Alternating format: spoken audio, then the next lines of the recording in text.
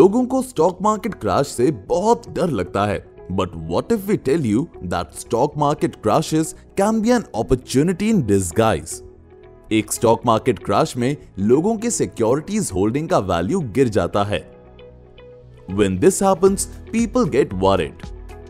But as long as you don't sell, your losses are paper losses.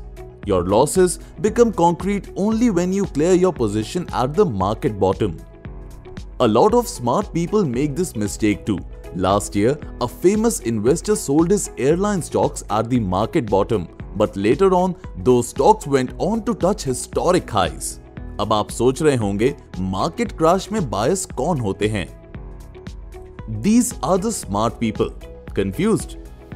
You see, in a stock market crash, fundamentally strong companies are trading at a discount. ताने की वजह से लोग अपने positions clear कर रहे हैं।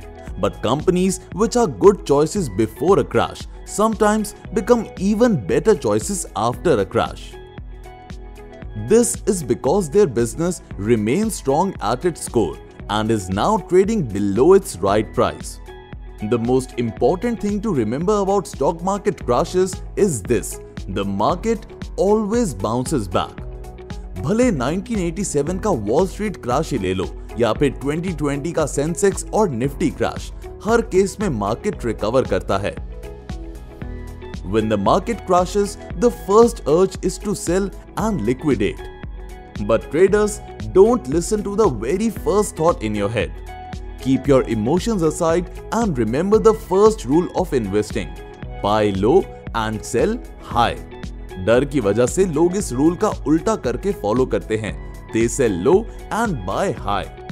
Remember the famous trading advice. The time of maximum pessimism is the time to buy and the time of maximum optimism is the time to sell.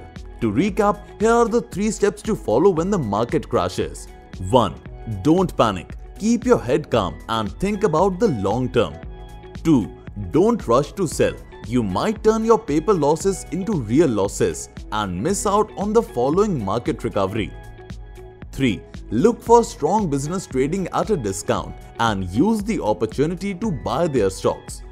Take a screenshot for future references. Subscribe to our YouTube channel and don't forget to share this video with your friends.